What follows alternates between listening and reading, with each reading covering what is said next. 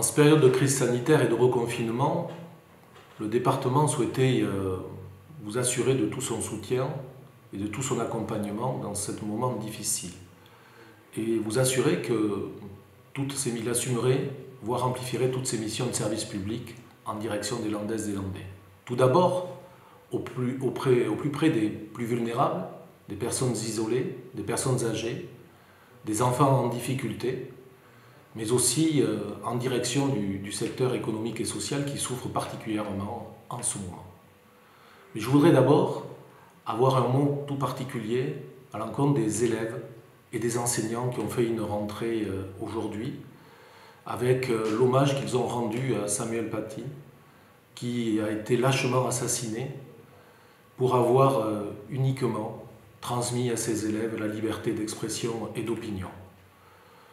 Cette valeur euh, qui fonde notre République, à travers la laïcité, nous devons tous, quelles que soient nos fonctions, la défendre ardemment. Et euh, transmettre le savoir, éduquer euh, nos enfants à la citoyenneté, c'est indispensable et nous devons tous lutter pour maintenir ces valeurs-là.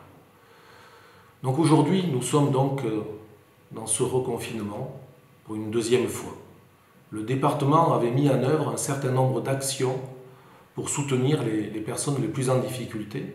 Donc nous reconduirons bien sûr ces dispositifs, mais nous étudierons la possibilité d'en mettre à nouveau d'autres en œuvre dans la mesure où euh, certains secteurs se trouvent de nouveau en grande difficulté.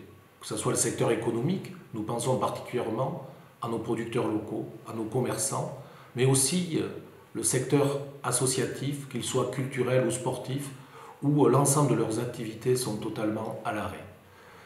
Donc je remobiliserai le comité de nouvelle solidarité qui sont représentatifs de tous ces secteurs pour euh, étudier avec eux les actions euh, qu'ils ont préconisées, mais euh, pour voir si elles sont susceptibles d'être mises en œuvre rapidement pour apporter des réponses les plus efficaces possibles auprès donc des Landaises et des Landais.